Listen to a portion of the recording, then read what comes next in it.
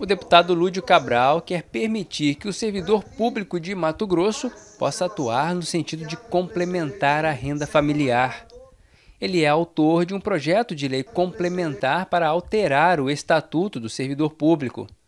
Isso porque o Estatuto proíbe o servidor de participar de gerência ou administração de empresa privada, de sociedade civil ou exercer comércio que tenha negócios com o Estado.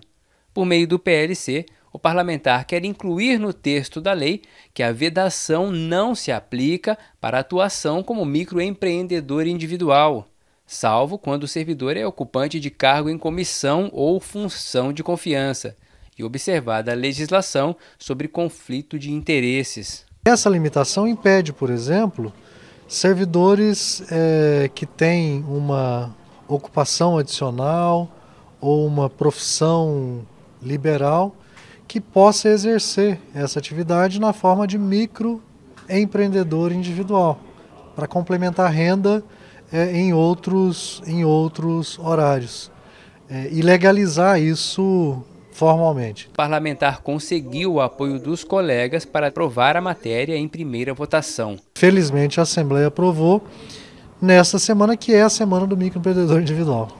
Agora, o PLC cumpre trâmites na Assembleia, onde será remetido à Comissão de Justiça antes da segunda votação em plenário.